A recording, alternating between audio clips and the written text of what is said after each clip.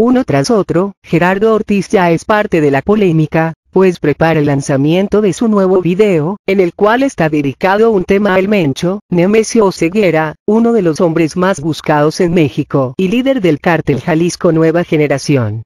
Este material audiovisual se grabó en Teacalco, Morelos, en el rancho de Federico Figueroa, hermano de Juan Sebastián.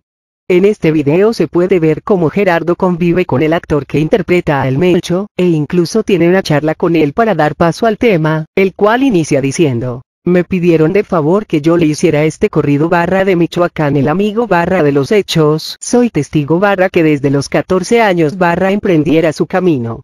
Durante el rodaje se prohibió que los presentes tomaran fotos o videos, pues quieren que sea una sorpresa para todos los seguidores de Ortiz.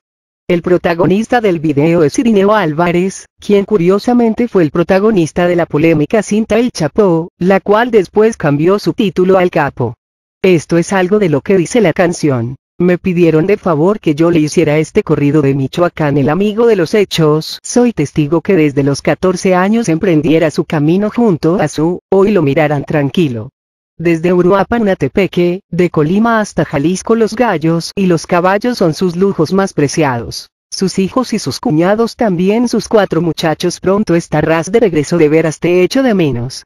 También me gusta festejar aunque no acostumbro a tomar quiero ver caballos bailar también una banda tocar como olvidar al Fre, esa chulada de caballo traigan al Valentín, que ese es de mis meros cuacos, traigo ganas de montarlo.